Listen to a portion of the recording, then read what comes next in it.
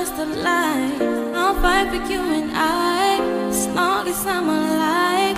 If we try to take a chance and we